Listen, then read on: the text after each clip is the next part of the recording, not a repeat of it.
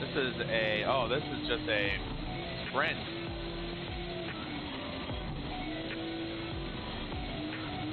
We're definitely to have to probably do this one again. I just I think we got the power, but, oh boy. Need some uh, water or something on this window. It is muddy. Can hardly see. Wow, wow, wow. Whoa.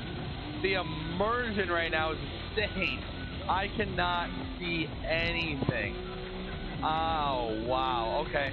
We're just going to power through this because this is what I'm talking about right here. I did not plan this.